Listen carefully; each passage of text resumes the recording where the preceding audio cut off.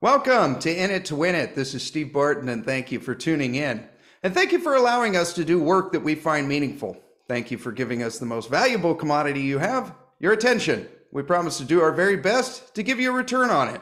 Today we have Chris Vermeulen of the Technical Traders on the show. Chris is a technical analyst, and we're going to pick his brain on our favorite commodities and the companies you submitted. Chris, thank you for coming back on the show. Hey, thanks for having me, Steve. Pleasure. Uh, the pleasure's all on this side of the table, sir. Uh, go ahead and give us about a, a, minute or two on what you guys do over at the Technical Traders. Sure. Um, high level view is we focus strictly on the charts, on price action, technical analysis, hence the name, the Technical Traders. Uh, more or less, we don't take any news, economic data, Fed interest rates, you name it. Any of that stuff is completely uh, eliminated from our analysis. As investors, we want our share price or our invest investments to go up in value. Uh, and if that investment is not going up in value, we don't want to own it. We can get back into it later. So we rotate our capital, reinvest our money only into assets going up. Could be stocks, could be commodities, could be currencies, uh, bonds, whatever it may be at the time. And that's what we do. We just follow price, we manage our positions. And the key is to always be holding something going up, even if it's just a cash account earning daily interest, that is better than losing money. Awesome. Awesome. Okay. Um, let's see. Let's let's hit the first uh, question real quick. Uh, Boyan wants to know. Uh, he says, "Thank you for taking our questions." He says, "Which technical indicators does Chris like to use?" Uh, technical indicators. Well, uh, let me share my chart real quick. I can show you kind of a, just the base I, I, really use pretty basic analysis. I do have some uh, several of my own proprietary analysis but let's just take a look at the sp500 daily chart. I really do like the um, three moving averages which is the blue one here which is the 50 day uh, exponential moving average. I like the 20 day which is the pink line and i like the five day and each of them kind of represent a, bit, a different cycle a different time frame a different style of trading or trader who's usually involved in the markets. Typically if you're in a strong trend um, we you know the price will hold at or above the five day. And then when it, it breaks through there it usually finds support around the 20 day. Uh, i find the five days like a momentum trading kind of strategy. Yeah. Uh, the pink is like swing trading. And then the 50 day i don't really trade the 50 day at all but it's nice to know that the underlying longer term trend is up. And one of the reasons why I really like these is I like the five day moving average when the five day and price of the stock or ETF is a, is above the 20 day, the pink line. That's when you usually have a signal that you are in a uh, an uptrend, and you get these really nice trends. Uh, it really helps you identify when the market rolls over and goes down. And uh, sometimes you do obviously get noise, but it really does help you trade with the underlying trend. If the five days is above the 20 day and, and they're sloping up, you're usually in a good market. You want to be focusing on owning stocks uh, versus trying to bet against the market. Um, other than that, I mean, the rest, I, I, do look at different indexes. I do look at, um, I like to look at the Russell 2000 to see if money wants to go into the small cap growth stocks. I like to see if people are rotating into gold or miners. Um, what about the dollar? The rest really comes down to intermarket analysis, and which is, you know, money ro- is rotating from one asset to another. If it's coming out of, if the stock market's going down, we want to know where that is going and where that money goes. Kind of tells us the mindset and the level of panic or so in the investor's mind. So I like to see you know which sectors and commodities are moving up while other things are moving down and that kind of gives me my gauge but uh, really comes down to just following the trends and identifying when we're in an uptrend when you should get long and, and managing those positions okay so you use the exponential moving averages not the simple moving averages uh, for for long term moving average, like the 150 day, I like the 150 day. Um, okay. If it's sloping up, prices above it, you're generally in a bullish market. Um, but uh, the longer term ones, I sometimes will will chart both the simple and the exponential and just see where they are. Because when you get to these longer time frames, they're not as sensitive here as these short ones where price can tag it and bounce off it the same day or the next day. Yeah. Long term, you can get the, the price moving through the 150 day or 200 day moving average for a week or two, and then it comes back up. So I usually will chart both of the those moving averages just to give me the range where it should find some support Because uh, again, that's year old data 200 day, 150 day moving average. It's old. yeah. Yeah. Okay. Okay. Um, all right. Uh, while you got the uh, S and P up, uh, last time we had you on, uh, you uh, forecasted that we're going to move to all time highs. Uh, that happened. what, what do you see going on with the S and P in the in the future here?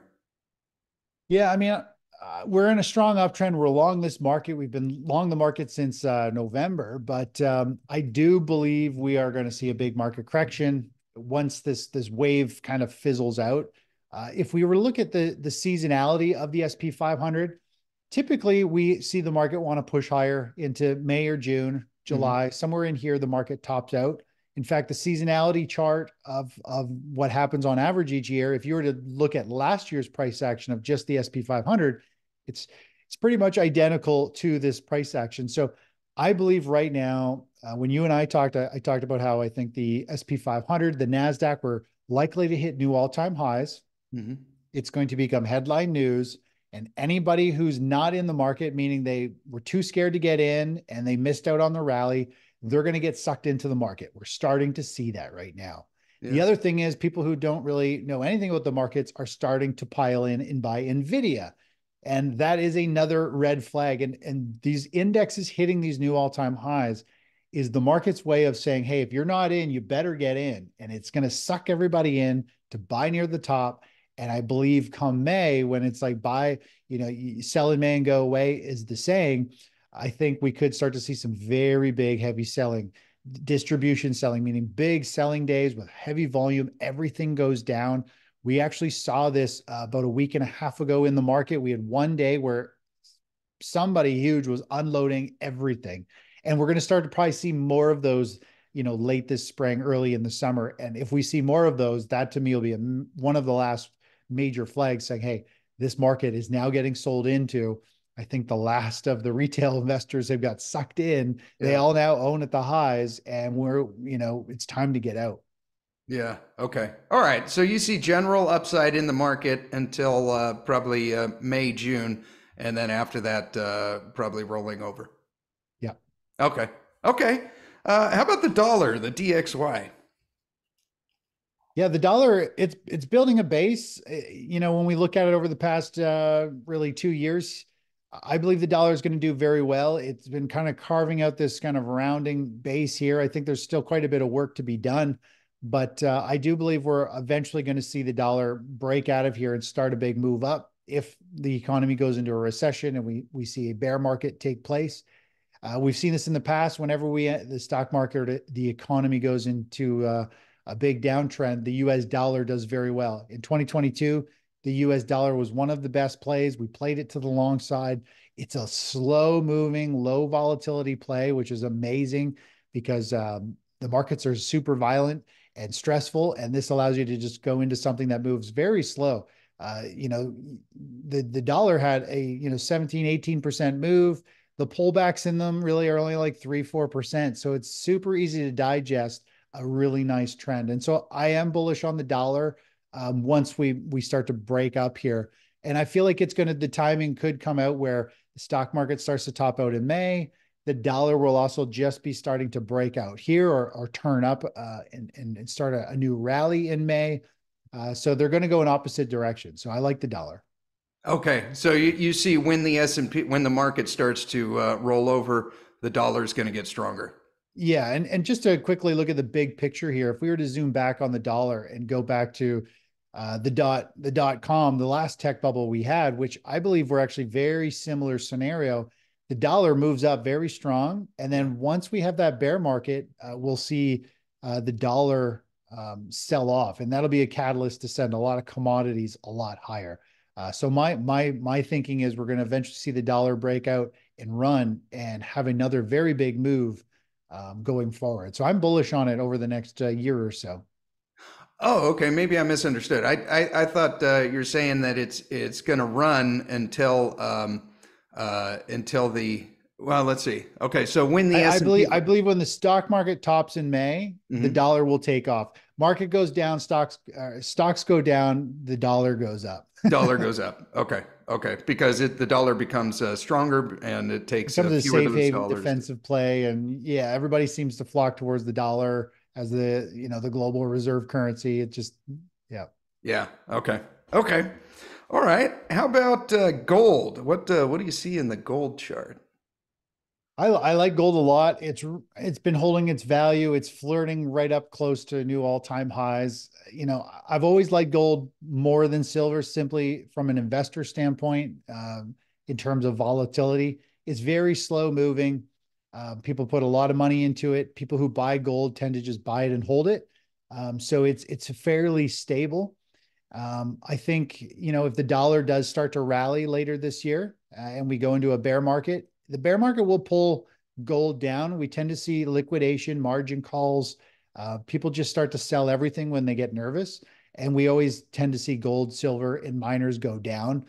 Uh, so, and to add to that, the dollar will probably be rocketing higher, and a rising dollar hurts gold. So, I like gold. I think long term, over the next three, four, five years, I think gold is going to be substantially higher, up in the 3000 range. Um, but I, I, think it's going to be fairly choppy for the next six, eight, 12 months uh, because it might have a pullback with the overall broad market. Yeah. Okay. Okay. And if you zoom out on that, maybe go to the weekly or the monthly, and um, do you uh, do you see? Oh, that's far enough, I guess. Um, oh, sorry. The um, uh, the cup and handle pattern. Are are are you? Uh, do you see that or? Yeah, there's definitely a big, you can say there's a huge cup and handle pattern, which is a very, very bullish sign. The, one of the general rules that I, I learned in uh, John Murphy's technical analysis book years ago is kind of the, the depth of the cup, whatever this depth is. If it is a, uh, a true cup and handle, you can stack it on top uh, three to four times. So, you know, we'd be looking, you know, way up here for gold. So this is a massive, like, huge potential pattern. Like I don't want to get into like five, six thousand dollar gold. Uh, I think 27, 2600 is the next target. And then from there we recalculate, recalibrate things. Uh, but yeah, there's a huge pattern here that we could go into a decade long sell off in the dollar and who knows what's going to go on with crypto and, and all that stuff. And for all we know, people are going to fall back to physical metals or gold and silver and it becomes the, the hottest thing ever again. Yeah, yeah. A lot of central banks are buying it since we sanctioned Russia, and uh, I think they're using that as currency instead of uh, some of the other random yeah. ones. Yeah. So you you've you've heard that the cup and handle pattern. I, I have heard the same on the retracement. There, you take the bottom of the cup to the to the top right of it, and uh, but you're saying that can do it three or four times, right? You're saying like from here? Uh, yeah, yeah. Yeah, I mean that's that's roughly the same. I I drew the line just from this high, kind of through this noise. Okay. Uh, give or give or take. I mean, it's there's it's a fine art. What's right and wrong, whatever. Yeah. Uh, it's it's pretty much all the same.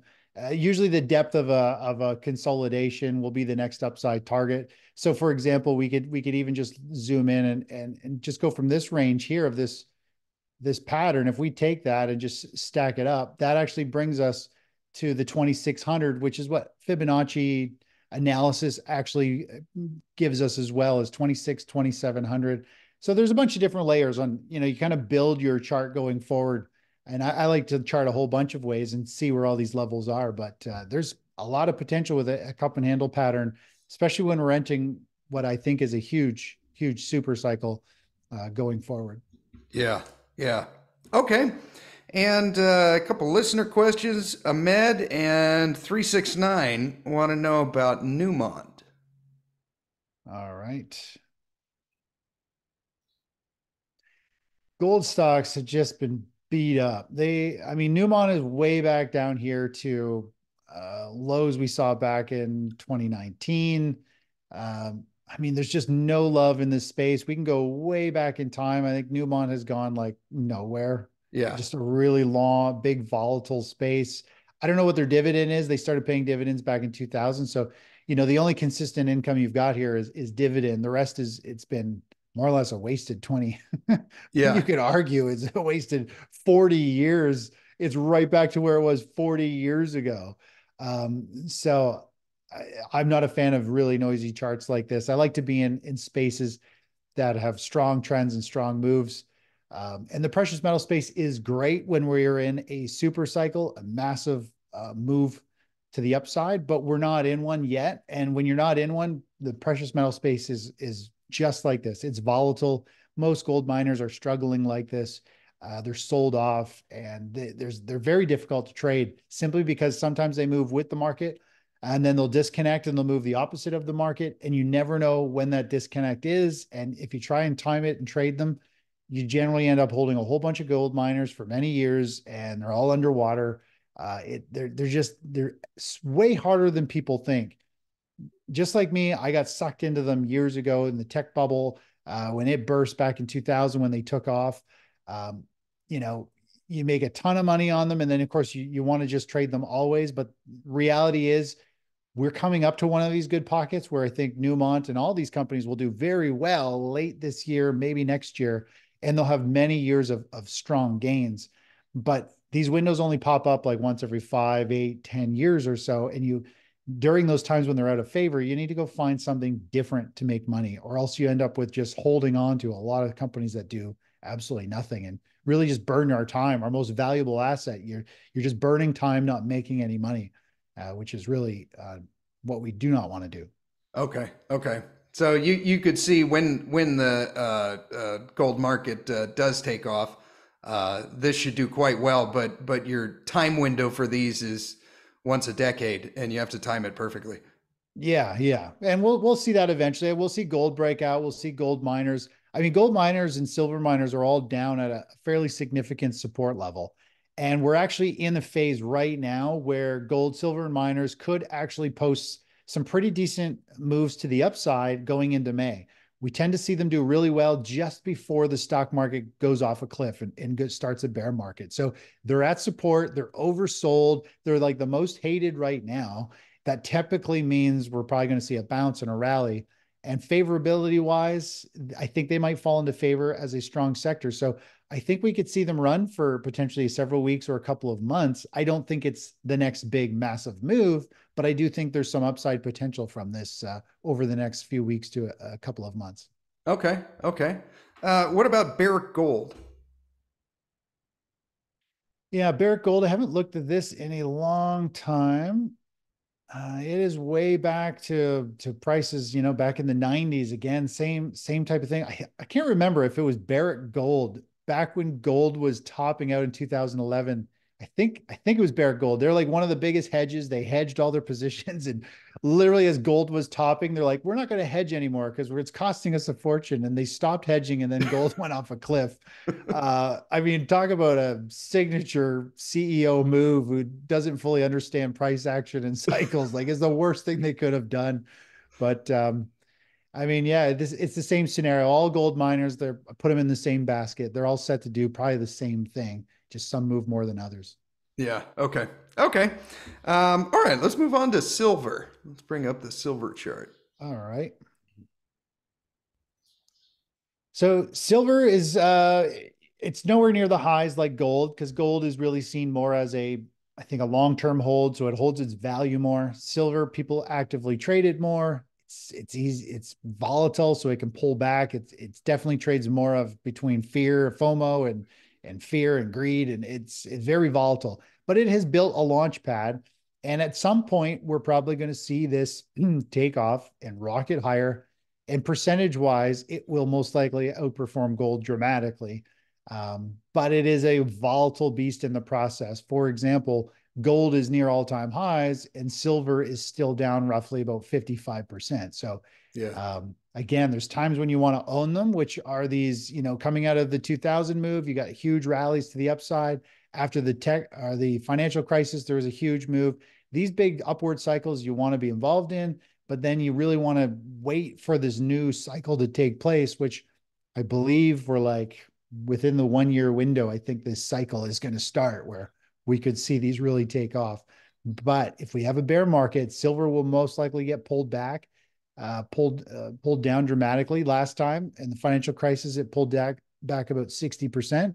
So even if silver does rally, which silver could post rally back up to about thirty dollars an ounce if mm-hmm. we get a strong move going into May, but it could very easily pull right back down into this range and correct whatever gains it makes in this short period. So, you know, I think gold and silver, I don't think there's a ton of downside from here.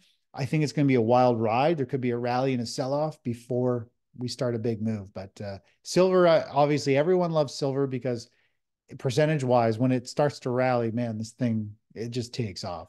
And yeah, the whole can... tech space, I mean, silver's the best conductor there is out there for electricity. Uh, so I mean, it's it's got its role. Yeah, I, I mean, if it gets really expensive, it won't play that role very much. But yeah, what uh, do you see any kind of uh, trend line if you go from uh, the bottom of 2020, the the COVID crash, and then just string a trend line up to where we are now? Um, do you uh, uh, do you pay attention to anything like that, or not really? Uh, I, I, I used to. I'll draw them occasionally, but mm-hmm. um, I mean, there's a you know, this this yeah. I'm not a huge fan of trend lines because so many people follow them, and like for example, you could argue there's a trend line, you know, across these lows, and then the market, you know, pierces through it. Silver silver is a beast. Silver loves to make higher highs and lower lows. It, it, it loves to throw you off. It is volatile and choppy. Uh, you know, this you could argue this is a very nice big cycle. This is a big downward rounding bottom. So these are definitely significant lows. Mm-hmm. If silver was to run into this support line, I wouldn't be surprised if it finds a bid and people start accumulating it. But I'm not a huge fan of uh, of trend lines so much anymore. I don't really draw them. I'll I'll use them to to get a gauge for for a level, but I find the market likes to break trend lines uh, and and and play games. So it is a pretty difficult. Um, silver is harder than them all. Uh, silver, I, I, typically don't short term trade at all, just because this type of price action is uh, difficult. okay. Okay. Okay. You like the charts a little bit more like the DXY that you're like, okay, yeah, I like we're going to make 15% over the next uh, six months. And yeah, exactly. I'm an ETF trader. I like, I like to trade a basket of something and I like to know if the tide is going up or down and I get on it. Uh, I, I, when the time comes, I will be getting into gold miners like, and silver miners like micro caps, penny stocks, if there are any left, uh, because I've had a good experience in the past, but once the per- got to let the perfect storm brew and I will get volatile and aggressive with some of those plays because it is a lifetime, uh, life changing opportunity when that time comes. But uh, right now, I, I just like the slow moving, uh, big waves in the market. Okay. Okay. All right. And Learn wants to know about Pan American Silver. Do you see anything on um, on that chart? All right. I see a downtrend. uh, it's getting down into some pretty major support levels. I think, uh, you know, it, it might still want to go down towards that 11 $10 area, but in a very strong downtrend. Again, there's, there's not a whole lot of favor. Let's just zoom in on, you know, we'll go over here. This is the type of price action I like to look for for a bottom. So I like to, to see something start to go off into a waterfall sell off. Yeah. And I, I these waterfall sell-offs I find usually are fairly signature of a significant bottom, not not just like a bounce that fizz, fizz, fizzles out, but a significant bottom that has like a a massive rally after it. So let's just take a look. Uh, so we're not quite into a waterfall sell-off just yet. Uh, waterfall sell-offs have a little bit more of a fluid you know, just kind of pouring over things where this is still jagged with pops and drops and gaps. Yeah. Uh, once you get into this fluid sell off, that's usually when you get a really strong move. Okay. Um, okay. So that's kind of what I'd be looking at. Again, it's it's it's bottom picking here. I wouldn't I wouldn't really I'm not a fan of picking bottoms or tops, but uh, gold miners in general are getting pretty oversold. There might be a little bit more downside that uh, sometimes some of the biggest moves percentage wise happen right at the end. So we could have like a few more days of very sharp percentage drop and then it has a knee jerk reaction bounce and, and bottom. I'd be looking for that waterfall sell off. Um, if you're an aggressive trader trying to pick a bottom, those are usually a good, a good bet, uh, more or less to, to try and get in at a low price. Okay. Okay. Um, all right. How about the ETF SILJ, the junior silver miner ETF. All right. Everybody loves the precious metals space. We yes. just have to wait. We just have to wait, guys. Everyone watching this show. We're so close, but we're not there yet. Uh, again, down at support in a downtrend. uh, is volatile. I mean, it's it's that support. If it breaks here, it, it could really flush down and and push push down to that six dollar level. It's got quite a bit of downside potential still. Um, yeah, they're all of them are pretty much the same. They're kind of getting oversold. They're down in support, and um, there's going to be a time where these things shine, but we're just not there yet. Okay. All right. Uh, moving on to uranium. Um, Rando Box wants to know. He says, uh, "What is Chris's opinion on doing technical analysis on things like uranium spot price? The utilities don't really care about the price, so should technical analysis even matter?" I th- I think you trade you. I don't have I don't have spot on my platform, so I kind of pulled it up here on the the Cameco site. Um, mm-hmm. I don't. I, I think you follow you trade whatever you're following. So I wouldn't trade uranium stocks based on the underlying commodity. Okay. I would trade uranium stocks based on the uranium chart price because okay. uh, generally you you want to trade analyze what you're trading. You, you know if you're if you trade in the futures market, you trade the futures. So obviously there's been a huge move up here. It's gone ballistic. Um, it's pretty wild this rally that we've seen, but you, yeah, I wouldn't focus in on the underlying spot price. Uh, I would focus in on the charts. And uh, really, when we look at these stocks, it is showing signs that uranium stocks are are looking to top out. I think Cameco shares it's themselves have just hit like a major high from 2006 or something like that. Yeah. It's got a massive double top. We do have lots of selling volume. Uh, the fact that we've got these big gaps to the upside and then sell-offs and a big gap up and a big sell-off. This type of volatility is usually indicative of a top. Usually we get into this really noisy and then the market fizzles out for a while. So I kind of feel like um, I think most of the upside is done for now. I do think when you look at this chart long term, I think uranium is going to become one of those plays. They could be an unbelievable play. Right now, that's building a giant stage one base, or you could say it's a big cup and handle. Yeah. Uh, but it's building a launch pad. I do think it'll pull back with the markets and consolidate. But I am actually pretty excited to see uh, a breakout and rally when a new bull market starts. Uranium could be the play because everybody's trying to move towards climate and uh, low carbon emissions. Uranium is like the power source to do that. And we can do it very safely with the technology we have now. So um, that that I think that time is going to come, and these these little companies could skyrocket uh, simply because I think Sprott bought up all the all the uranium available, and China's got all the use. They're going back with uranium powered I don't know subs or something like that, military, and they're keeping all their uranium. So there is a perfect storm brewing here. And I think we've seen early investors move in, they're positioned in it, hence the big rally off the lows back in 2020. But um, I still think there's a lot of room above uh, in due time.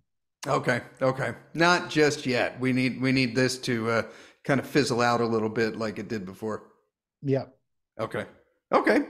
And let's move on to oil. All right. All right, taking a look at oil. If we kind of zoom out of the big picture of oil and let's just get rid of that negative price. In, in reality, oil is really kind of trading right in the middle of its range. If we take some of these lows here, we take a couple of these highs up here, oil is pretty much trading smack dab in the middle. There's not a whole lot of insight here. I, I feel like it's got a downdraft. It, it did put in a little bit of a double top here. Mm-hmm. And now we're kind of in this, this consolidation phase, which a consolidation means it's just a pause before continuing the trend to the downside. So if the trend was down into the consolidation, eventually this should end up going down. And I have about a $40 uh, downside target on oil. I don't know when it's going to happen, but I feel like that'll be the next major pivot point. And oil, it seems cheap for oil, but we have hit $40 oil many, many times over the past 20 years. And uh, usually it's during some type of um, massive correction, whether it's a tech bubble, whoops, and the economy bottoms out, or it's a financial crisis, or it's just tough economical times, or it's COVID. When there's fear in the market, things sell off. And that's where I see oil probably heading once we get through this AI, and NVIDIA, everybody needs to own it, uh, little bubble phase of the markets um, kind of push, the indexes are pushing higher because of the tech. Okay, okay. You know, I've wondered about that with uh, um, uh, oil and natural gas. If that's one of the reasons that we haven't officially hit a uh, recession yet, is because oil and natural gas are so cheap. You know, what I mean, energy drives an economy, and if your energy is uh, is dirt cheap, you can afford to still do a lot of stuff. You know. Oh, I know. I I cannot cannot believe the price of natural gas, considering like I think Russia cut off like you know Europe. Right. I mean, how are how is our how is the gas not jacked up and they're like liquefying it and sending it over? Maybe they are. I don't follow the space, but man, like natural gas is is so cheap. And we do have these like big cycles in natural gas that happen like every three, four years. We've got these big, big cycles that just keep unfolding. And we've just gone through one of these big big blow off phases. So, you know, I think natural gas will be working itself into an oversold condition and it'll go back into another big bounce phase. And, and believe it or not, sometimes we actually see natural gas um, uh, buck the trend. Stock market can sell off, natural gas can go up. But uh, yeah, we have super cheap energy pricing, and natural gas is like at giveaway pricing. Like it's not even worth probably mining the stuff. It uh, you know there's a big arbitrage too. One of the companies we follow, Devon, they they they're able to pull it out of the ground and ship it off to Japan for about three bucks a million BTUs, but Right. Japan is buying it at eight or nine dollars. And so there's a huge arbitrage right there. You know, even though technically, when you look at this, a dollar sixty-four, they're losing yeah. money on it. But as long as you find the right customer, uh, they're they're they're making a pile. Exactly. yeah. Yeah. but In it- Europe, natural gas is so expensive. They'll, they'll, yeah. Yeah, yeah. Now, how would you play this if, if in an ETF? Would you do like NGL or? No, I wouldn't touch it. I mean, there's, I don't think there is a good ETF for natural gas. If you hold it long enough, you're bound to lose money. Yeah. Even if it goes up, you, you still don't make, like, you really have to time natural gas. So I would wait until it's in a really strong uptrend. I mean, we got a nice bullish, bullish chart pattern with a nice bull flag on the daily chart or something. If you're a swing trader, I'd be like looking to move into it then. But right now, trying to pick a bottom and wait, to me, that is uh, very difficult. There's just the contango, the ETFs just lose value um, as contracts roll and things like that. So that's the problem with natural gas. There's some amazing moves, but there aren't really very good ways to trade it. Um, and and this I always found this frustrating. I'm like, oh, natural gas is a great play, and all I got to do is buy it here and sit on you know UNG, and I'll be I'll be golden. But you know, it rallies up 30, 40%. UNG just moves back to break even. You're like, wow. I mean, these things are built so poorly. Uh, I find it amazing that the financial system allows, you know, such terrible things to be built and offered to retail people, but that's a different I, I, I noticed the same thing. There's a, it'll have a huge uh, blow off top, and these ETFs do absolutely nothing.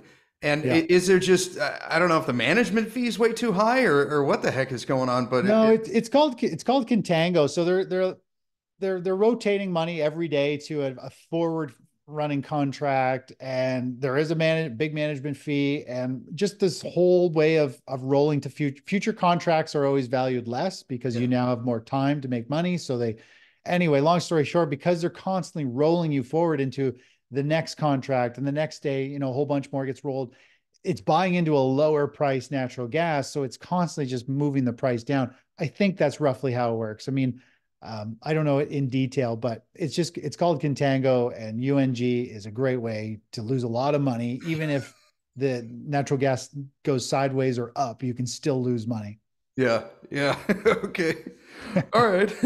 And uh, Nada wants to know about Bitcoin, R I O T. Oh well, yeah. Let's start with uh, Bitcoin first, and then we'll we'll move on to Sure. Yeah. Okay. So Bitcoin's definitely back up in in in bullish territory. It has put in a big, you know, stage one, a rounding bottom formation. It, it broke out of that. Uh, this was a, a pretty major major level, and of course, so now it's in bull market territory. It's r- ripping higher.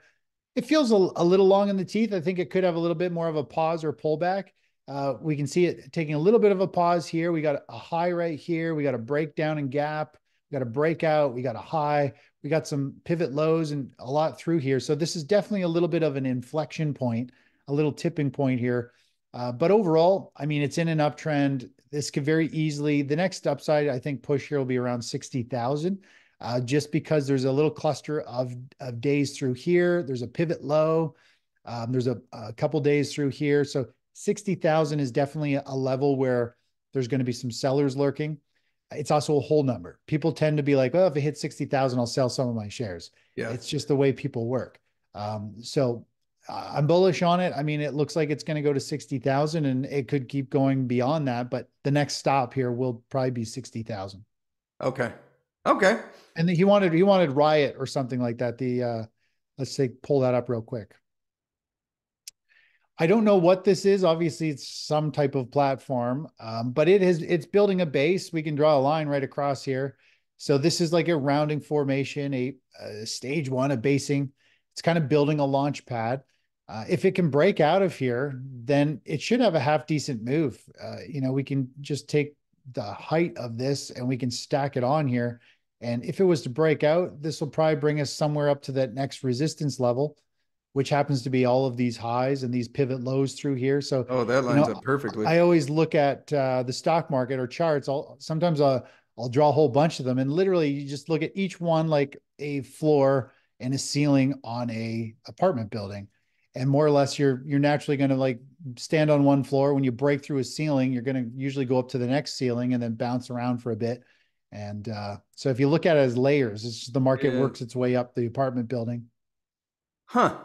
That's cool. Yeah, and and that uh, that move up to 36 or 38 or whatever it is lines up with a lot of uh, uh, price action back in. It 20. does. Yeah, that looks like uh, it would be a, a level where there's going to be some sellers stepping in, but there's definitely a lot of momentum uh, building up through this. The yeah. longer something trades sideways and this this big range it's in definitely gives it a lot of power. If it breaks out, it can have a pretty decent run. Yeah, yeah. Awesome. Awesome. Well, thank you very much, Chris. This was a lot of fun. Um, if uh, if uh, one of our uh, listeners wants to uh, sign up for your service, what can they expect? Sure. Yeah. Pretty much what you and I just did. I go through the charts every morning around 830. Uh, so you kickstart the day with your coffee and I run through the charts of all the different markets, how they're relating to each other, our positions. Uh, I, I share all my ETF trades that I do. So you can copy what I do and uh, they can do that at the thetechnicaltraders.com and go from there. Awesome. Well, thank you very much. There will be a link uh, down in the pinned comment below. It's an affiliate link. It doesn't cost you any extra, and you support your favorite podcast in the process. Chris, thank you very much for coming back on the show. Hey, it's a pleasure, Steve. Take care. Talk to you next time. Yes, and thank you for tuning in. Hit the like and subscribe, and share this with anyone that you think needs to hear it. It's probably your buddy that can't stop talking about NVIDIA. You have yourself a great rest of the day, and we will talk to you next time.